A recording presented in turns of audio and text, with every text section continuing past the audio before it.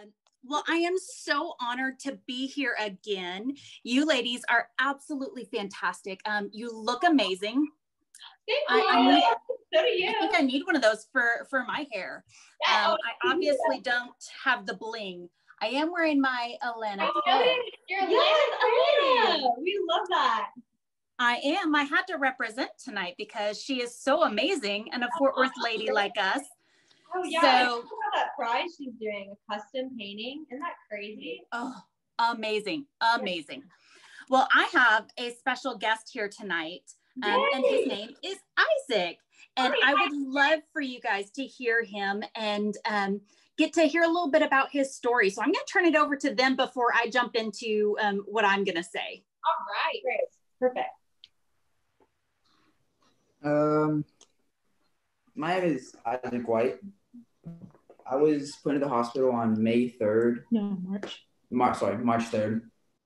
And because my leg was like double the size it should be, and after finding out I had multiple MRIs, multiple like x-rays, I found out that I had a really bad staph infection in my bone in my leg called staph infection. I also had a, called MRSA. Mm-hmm. I also had a really bad blood infection, which caused these big old heads on my leg to come up, and it was really nasty. it was called sepsis. Uh-huh. Um, really hard experience. Just the whole cooks really made it better because they helped me through all of it. They provided so much stuff for me and my family, and after all, I had to end up having four surgeries in total and I had three incisions with four total surgeries. And I'm now on my way to a healthy recovery. Wow, that's so exciting. So he had um, which is called in his left tibia of his um, bottom half of his shin. That's his shin bone. He had and it had Oh, sorry. What was that? He had what? Sorry. Yeah, it, you cut out a little bit. Okay, so he had a it, it was called osteomyelitis, and um, because we didn't realize that's what he had, by the time that he was diagnosed, he had um, a bacterial infection in his lungs, bacterial MRSA, um, pneumonia.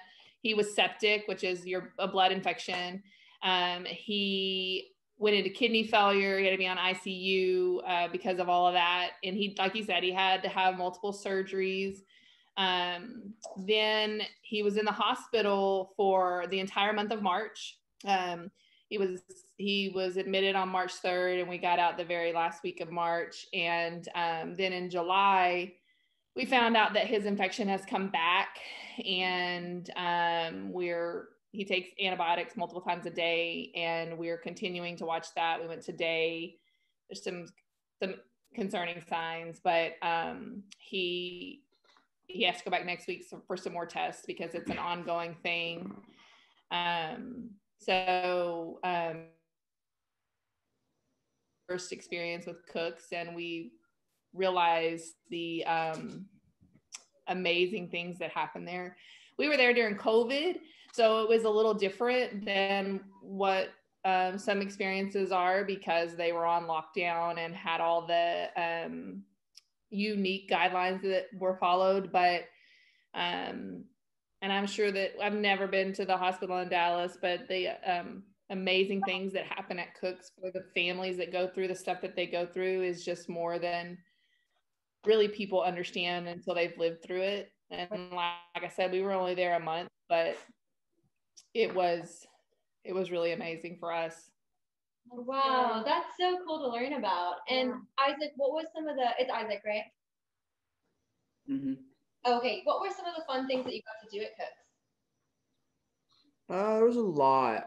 There were one of my favorite things was they brought these dogs in and they let me like yeah. play with them. It was mm-hmm. super fun. There was also there was this like a game. There, on the first floor there was this room like all these games, like a pool table, and like that was also pretty fun. Yeah. And when the time that he couldn't leave his room, they offer all of stuff like that through the TV whenever he was at a period where he couldn't leave. That's awesome. Aww. What was your favorite dog's name? Um, Steve. Mm-hmm. Mm-hmm. Steve. Aww. He was pretty new too. Yeah. There. That's so neat. We've heard a lot about the dogs from Cooks, so that's super cool. And then I was going to ask, you said that COVID kind of made it different. What were the certain things that made um, your experience a little bit different or changed that with COVID? Well, um, we could only have so certain visitors. At once COVID went into effect, it was only parents could come, no siblings or family. We have a really large family, and so it was a little difficult. Um, and we have other children other than Isaac, and so that was one of the big things. And then um, normally they do with before COVID, he was there for a week before COVID went into effect, and they did like pretty much that is calendar of stuff that they brought people in. They bring people in they do concerts they do uh, painting and all different kinds of activities but they couldn't do any of that with covid. Um, they still had the play area like he was talking about. I don't exactly erin knows what that's called. I, I don't know exactly what that's called but um, and then they also had like you could get your hair cut and stuff like that and they had to discontinue that. And so um, but those are all services that we got to utilize for a little bit before COVID went into effect. But those were just some of the things that were limited due to COVID. Yeah, that makes sense. That's awesome. Um, I just I think it's so cool the dog program. Um, just the special bond that you can have with the dogs. Did you feel that Isaac? Like how they just kind of understood you and maybe what was it like having like that companion? It was like it was super cool because like until that point I was like super sad because the first time I ever been in the hospital like for a major thing and like my just pictures of me with uh, and I have the biggest smile on my face because I was so happy and just made my whole experience better. Uh, that's so good. I love that. Yeah, especially I mean being in the hospital is so scary, and so then scary. when you're going through what you went through, that's like so scary. You don't know what's going on. So to have like a friend, like a, a dog, I know I have four dogs, and so each dog brings a different aspect to the table. And so I've got that dog who's super nice and never barks, but she can bark, and then another dog who's like super crazy, and then another dog who we're like, okay, what are you doing here? She's she's from the shelter. She's kind of she's she's been through some rough times, and then another dog as well. So um, I know the special bond that to have with dogs and stuff, and so it's it's really cool because they it almost feels like they know what you're thinking without even saying it. Would you agree? Yeah. Yes, ma'am. Yeah, that's super cool. That's awesome. Thank you so much for sharing your story. And then, Erin, I wanted to ask you. I know I asked you the other night, but just for the people who weren't on, um, what does it? How does it COVID affect um, you as someone who works there? So with COVID, mm-hmm. things are a little different at the hospital. Um, like my Isaac was saying, is um, we have a very robust programming. Um, we make sure that not only do our kiddos get taken care of, but siblings as well. And so we've had to cut back on um, most of that programming because we don't need 15 people in the child life zone, which is where um, Isaac got to go and play pool and Xbox and PlayStation, and um, we've got um, a racing um, game, and we've got other arcade cabinets. It's it's a lot of fun in there, and that's where um, a hub of a lot of our beautiful programming happens. And we've had to kind of structure that back a little bit. We still do programming, but a lot of times we will take it to the rooms. So you can tune in to our TVs, which is CLZ TV, channel 39. Um, that's what you get to watch when you're in the hospital and you get to engage with different things. So we put on a game show and we've got a full recording studio so people can go and be part of the game show.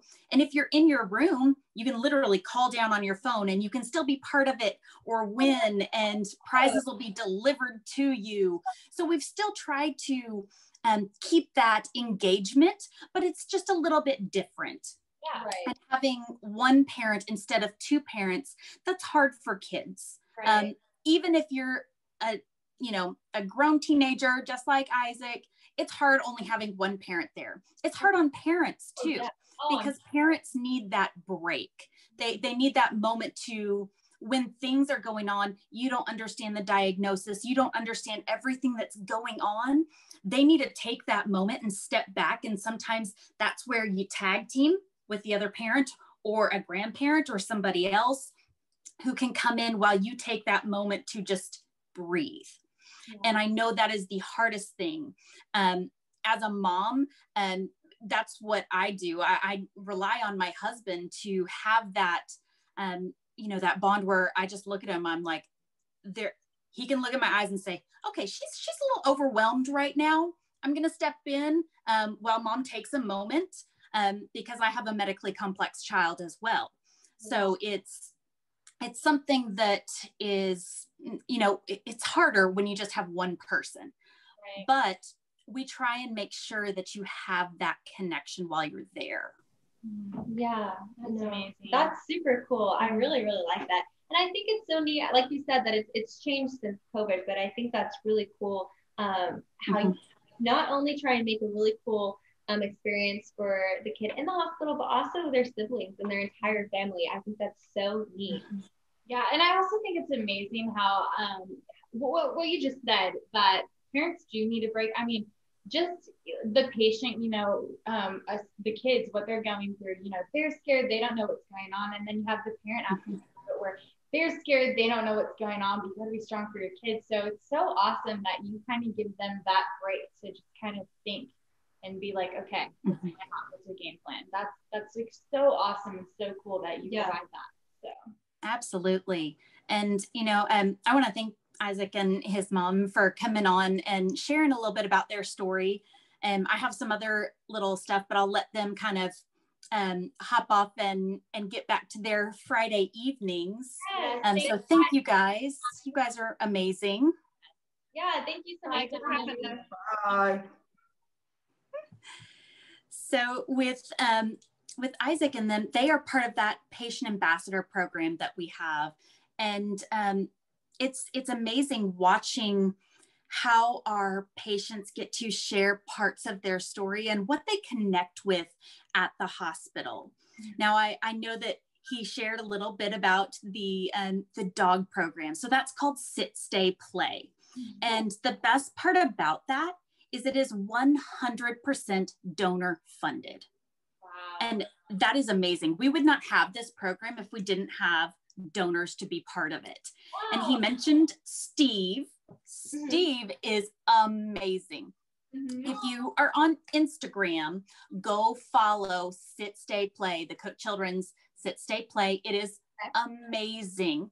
Um, and you'll see the shenanigans that our dogs get into. Uh-huh. Um, little anecdote about Steve. The other day, they posted a picture of him full muzzle of glitter. He Ooh, found a bottle of no glitter and way. exploded it across his face. Oh, wow. so funny What type so of dog? funny but they are um they are amazing we have seven dogs and they all are badged members of cook Uh-huh. children's they all have their own badge Oh my god. um. That it all says their name and they get to go on rounds in the hospital. So you know when when kids like isaac are trying to figure out what it what their life looks like um, sepsis is not easy to deal with. I mean that's an entire infection in your blood system. And that's and that's a really scary thing to kind of go through. So having that companion where you can just lean on and hug and that dog will hug you back. Um, they're amazing. The dogs will literally like nuzzle into your your shoulder and um, you know just help you feel okay. And just the the simple act of petting a dog releases those endorphins um, which help bring these patients spirits up. And it's it's so beautiful. And some of the other things that um, i know he didn't mention but i'm certain he got to take part of because he, he kind of hinted at some of them. So like our um, carpe program which is our creative arts and residence program we have so many different parts of this where kids can paint they can use um, art as therapy they we have music therapy um, we do yoga there's there's so many different things that kids can take part of that bring joy to them. And um, I, I, have a, a, story about one, uh, about a couple of these programs kind of coming together. And this is a story from this past year. My ambassador, um, her name was Alexa. And Alexa's story uh, it, it's it's hard to get through, but it's got such beauty in it because on December 26th of 2018, she and her family were heading home um, from Christmas and they were in a head-on collision. Um, she lost both of her parents immediately and her sister was care flighted to Cook Children's while she was at a regional hospital. They assessed her very quickly and sent her also to Cook Children's. Wow. And she she came in knowing that she didn't have her parents and she didn't know the status of her sister and they they there was a just a world of chaos going on. And she held true to her faith. And um, while she was there she received um, what we call one of our prayer bears. Um, it's a stuffed teddy bear. It's $12 it's not a huge deal to normal people. But the most beautiful thing was when they realized that her sister Olivia was, sorry, this story is very hard to get through. When her sister was not going to make it, the child life specialist took Alexa to her sister's room. They took a simple canvas. They put her sister's footprint in the middle and they put her handprints on the side to create an angel so that her sister would continue to watch over her. And we brought out our stethoscope, our high powered stethoscope, and recorded her sister's heartbeat. And they put that inside the bear. So when Alexa walked out of that hospital without her sister or her parents, she had her guardian angel and her sister's heartbeat. Wow. If you don't think donations matter, that $12 mattered to Alexa. $12. That's literally two Starbucks drinks. Yeah. If you don't think that that 30 cents matters, mm-hmm. it mattered to Isaac, mattered to every single patient that walks in or comes through our doors. It matters to everyone. And you have the ability to make that difference. Yeah. You do just by saying yes. And every single one of you, every single person at Jabos has that spirit, that servant's heart to serve the community. And you guys make change happen. You literally bring joy to our patients and you bring hope back into their life. So when Alexa tells her story and she says, I may not have walked out with my family, but I walked out with hope. There is joy in my heart, and I still have a life to live. And I know that my family's here with me, and I can listen to that heartbeat whenever I need to. And that is the power that donations have. That's the power that you have. Every time you walk through those doors, you have the power to change a life and to bring that hope. And that's why we are so incredibly grateful for what you do, for how you bring a community together. It's not just a the helpful hardware place. You guys are transforming lives and you guys get to be part of that journey. So the next time you think that that 40 cents doesn't matter, I want you to stop and remember that to our patients, it does. And that's the most beautiful thing in the world. Oh, Erin, that was so sweet. Oh my gosh, so sweet. Yes. Um, yeah, it's just it's I think it's good to take like segments like these to know like yeah. where our money is going towards and that you're not I, I love how you say that, you know, um, that 40 cents may not matter to us, but it matters to girls like um, do you say her name was Alexis? Yeah. Her name is Alexa. So, yeah. uh, that was that was uh, so that was a sad story, but a very you know it's I mean life is tough and Yeah. it makes it makes it Mhm. real our cause and what what we do when we do our roundup program and you know Oh, knowing that our money that money that is going towards helps um, little girls like Alexis you know have Yeah. gifts like that it's so touching Absolutely. I mean, it's important. Wow, yeah, it's important to know the weight of that, even though it's hard. Um, to know the weight of what people go through and where that money is truly going and how we're able to help them. Um, so that's yeah, that's so touching. Um, thank you so much for sharing that. I know that was hard to get through, but we really appreciate it. No, that's super neat. It's it's different when i personally know these kids since i run the ambassador program. I, I live these stories with them. Um, but she is doing so well right now. She lives with her grandmother. She's thriving. Um, i still i keep up with her on a regular basis. And she just she's got the most beautiful outlook on life. And i told her the last time i saw her i said alexa i wish i had just an ounce of your joy that you have because it is so infectious the way that she just shares it and she openly gives it to people and she says my job in life is to bring that joy to other people Wow. and um, to come from that tragedy she she has made an impact where she is and she's starting to look for where she wants to go to college now. And um, she's a straight a student and just I- mean there's there's joy in that uh, you know in that story.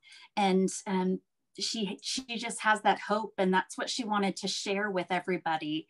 And I just cannot thank you guys enough for what you do, for how you guys support.